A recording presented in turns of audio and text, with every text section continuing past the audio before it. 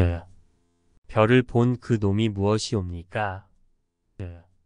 어느 해 성도절 날 해암 스님께서 법상에 오르셨다. 대중은 모두 스님만 쳐다보고 법문을 기다리는데 스님께서는 한참 동안 아무 말씀도 없으시었다. 그렇게 한 20여 분 동안이나 양구하시고 스님께서는 이로써 오늘 성도절 법문을 다 마치었다. 이해하시고 주장자를 탕탕탕 치셨다. 그때 한 수자가 일어나 여쭈었다.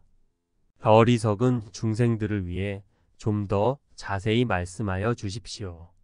스님께서는 또 20여 분 동안 양구하시고 부처님께서 별을 보고 깨달았다. 하나 산승이 보기엔 별을 본 그 놈을 보고 깨달은 것이니라. 예 수자가 거듭 여쭈었다.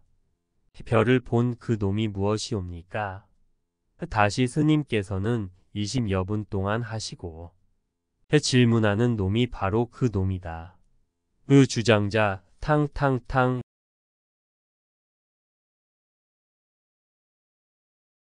해양 큰 스님 법문 소감 제가 큰 스님 방에서 소참 법문 듣고 몇 차례 용맹 정진한 구도 정신은 계속 잊지 않고 있습니다. 제 인생의 한 획을 그었다고 생각하거든요.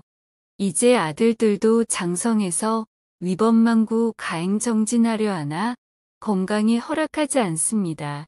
그나마 다행인 것은 제 젊은 시절의 방학이면 친정에 아이들을 맡겨놓고 원당함에서 큰 스님과 선방에서 장접으로 한 게 인생의 큰 은혜였습니다.